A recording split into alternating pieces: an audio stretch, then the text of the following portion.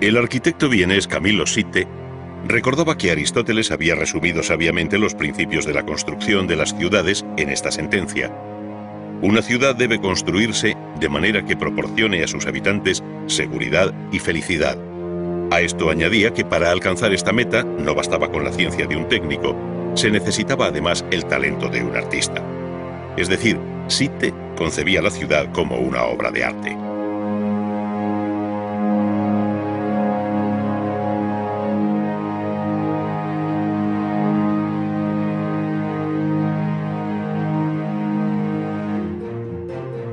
La arquitectura se ha beneficiado ampliamente de los avances habidos en el campo de las técnicas constructivas y de toda la maquinaria auxiliar, como por ejemplo puedan ser las poderosas grúas torre, que ya permiten soñar imágenes impensables o inalcanzables no solo un siglo antes, sino tan siquiera 50 años atrás.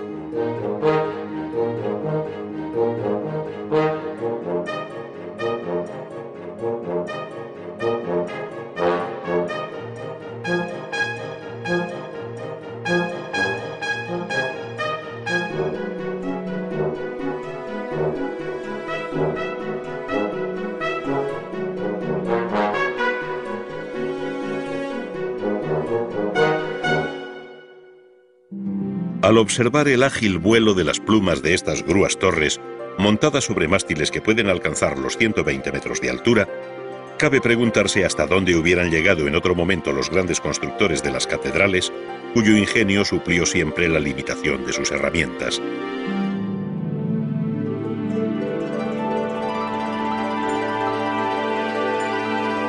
El propio montaje de la torre se convierte en espectáculo desde el momento en que otra grúa auxiliar móvil y telescópica, va colocando las piezas una sobre otra, como si de una elemental construcción infantil se tratara. Todo está calculado previamente.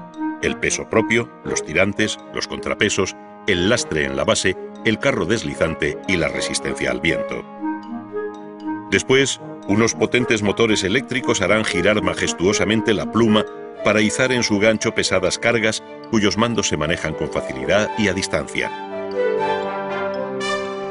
Cuánta fatiga queda atrás, cuánto riesgo el de antaño, cuánto tiempo y coste han ahorrado estos elementos a la construcción del edificio.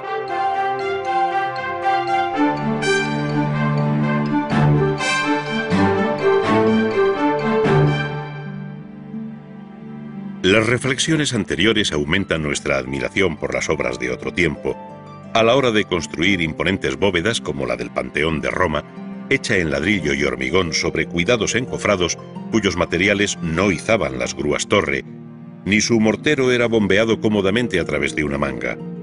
Sin embargo, se alcanzaron aquí 42 metros de luz y altura, todo un reto en la historia de la construcción de cúpulas. La arquitectura comenzó entonces una verdadera carrera consigo misma para alcanzar nuevas metas. Mayor altura en los edificios, mejor iluminación, novedosas soluciones como la serie de cúpulas y semicúpulas sobre pechinas que caracteriza el templo de Santa Sofía de Constantinopla. Pero si la altura alcanzada por aquel templo bizantino rozaba los 55 metros, esta cota sería prácticamente doblada por la cúpula de la Catedral de Florencia, concebida en dos hojas por Brunelleschi en el siglo XV. El talento constructivo de Brunelleschi y su formidable intuición situaron esta obra entre las más formidables de la arquitectura de todos los tiempos. La experiencia acumulada y dejando otras tentativas intermedias, la segunda mitad del siglo XVII, el siglo de la revolución científica, vio levantar cúpulas de fábrica cada vez más sabias, aligerando el peso propio y multiplicando los casquetes que la componen. Esto es lo que hizo Christopher Wren en la Catedral Anglicana de San Pablo de Londres, permitiendo además barrocos juegos de luz, cuya procedencia se oculta ahora para quedarse solamente con el efecto final.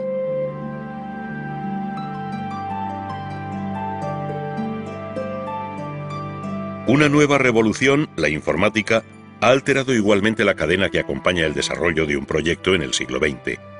El antiguo estudio con planos y dibujos por las paredes, con el arquitecto y sus aparejadores y delineantes sobre el tablero de dibujo, se ha convertido ahora en una oficina donde los ordenadores hacen avanzar la tarea con rapidez y seguridad en todos sus frentes. El propio diseño pasará también por estas nuevas herramientas que harán viables tantas ideas que finalmente cuajarán en las maquetas tridimensionales, aquellas maquetas o modelos tan necesarios para convencer al cliente y corregir errores, como ya apuntaba Alberti en el siglo XV. Desaparecen los antiguos delineantes para dejar paso a expertos conocedores del dibujo asistido por el ordenador. En su lugar se sientan hábiles calculistas que en complejos diagramas aseguran la estabilidad de la estructura proyectada.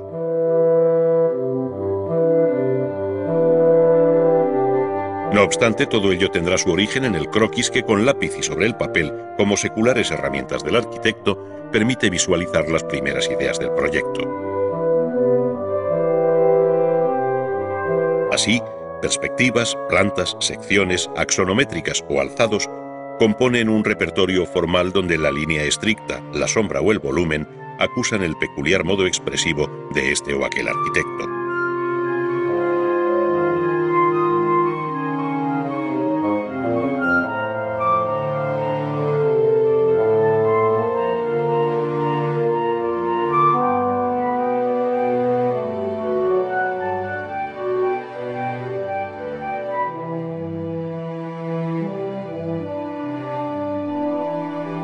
Luego el ordenador codificará aquellos planos donde la potente herramienta permitirá ampliar, reducir y trabajar o mostrar sectorialmente sus detalles hasta perder la noción del todo dentro de un mundo de abstractas coordenadas.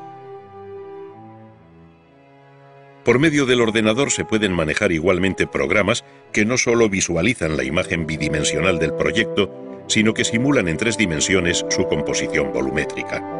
Es decir, por procedimientos sencillos se logra una maqueta virtual que en cierto modo desplaza a la maqueta tradicional.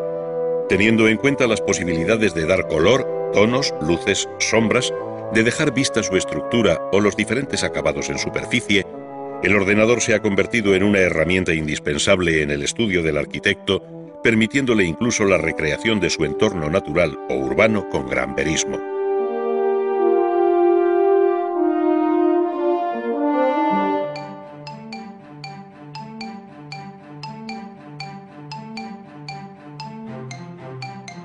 La cimentación del futuro edificio es una de las operaciones clave de todo el proceso constructivo, pues la futura vida de aquel dependerá del rigor con el que se haya llevado a cabo esta primera fase.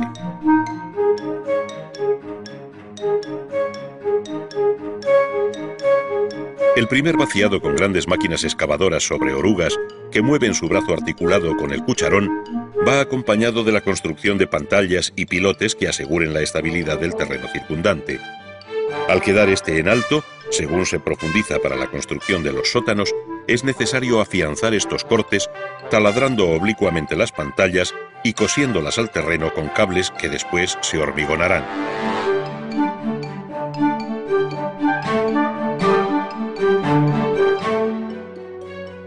Otras máquinas perforadoras hacen verticalmente los pozos pertinentes para los pilotes, extrayendo primero la tierra por medio de una imponente barrena cortante que permitirá introducir la armadura metálica y finalmente hormigonar el interior.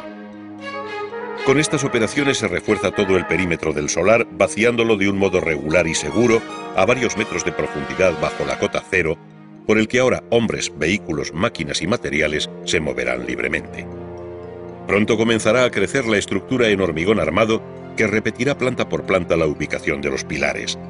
Para su construcción se repite el viejo sistema de un encofrado que sin embargo se ha sofisticado y normalizado al máximo, aprovechando las plaquetas o planchas que forman la caja para utilizarlas a lo largo de la obra. Dentro queda la armadura metálica compuesta de varios redondos de acero, cuyo número, sección y reparto se ha previsto en el cálculo de la estructura.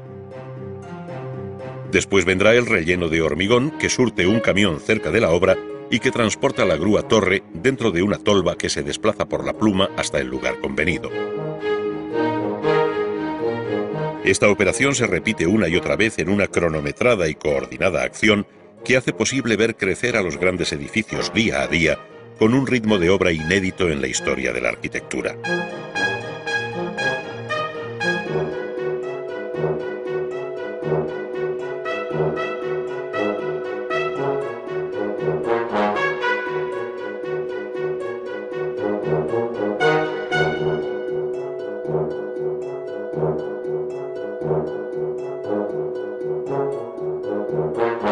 Cuando se alcanza la altura de los forjados, se prepara el mallazo, las piezas cerámicas huecas que recibirán su capa de compresión, hormigonándolo todo hasta formar el piso general de esta altura, repitiéndose la maniobra del mismo modo tantas veces como alturas tenga el edificio.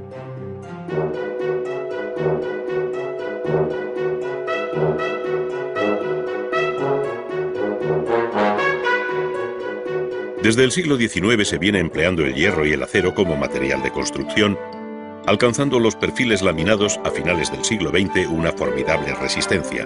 La soldadura o el empleo de tornillería aseguran el ensamblaje de las vigas que con perfil de doble T vuelan por encima de la obra hasta el lugar convenido, izadas por grúas torre y grúas telescópicas. Este sistema permite hacer avanzar con rapidez la construcción a la espera de su cerramiento exterior, bien con vidrio, bien con otros materiales tradicionales.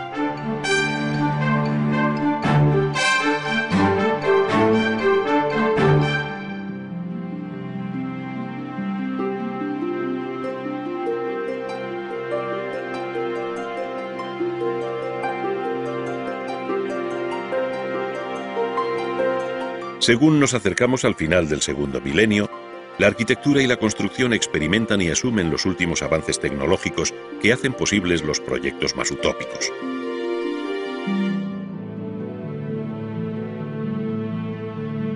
Probablemente son ya muy pocas cosas las que no se puedan construir por razones puramente técnicas, y el creador dispone de cuantas herramientas precisa para llevar a cabo su proyecto. En este sentido han desaparecido los límites de antaño que el ingenio debía resolver previamente como problemas instrumentales para ejecutar una determinada idea.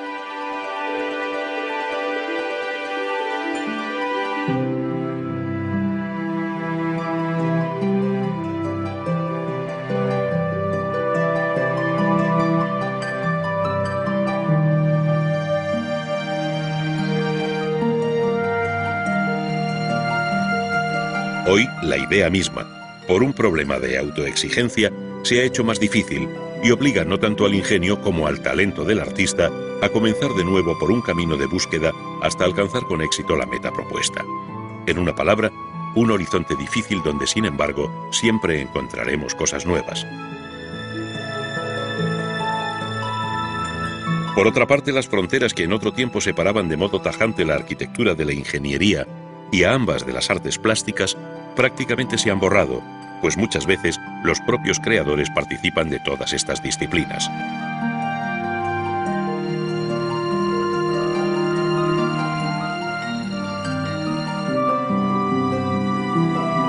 Así sucede con el autor de la Ciudad de las Artes y de las Ciencias de Valencia, donde sus edificios singulares traducen formas y evidencian soluciones que pertenecen a ámbitos muy distintos.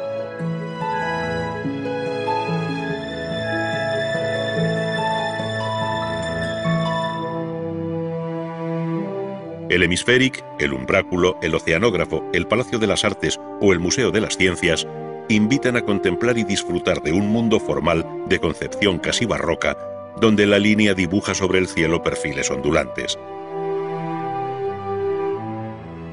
El vidrio se alía con la estructura metálica, la luz baña con especial intensidad todos los planos y volúmenes hasta penetrar en ellos y recrear una belleza interior que, ingrávida, impulsa a dejarse seducir por ella como visitantes de un extraño planeta.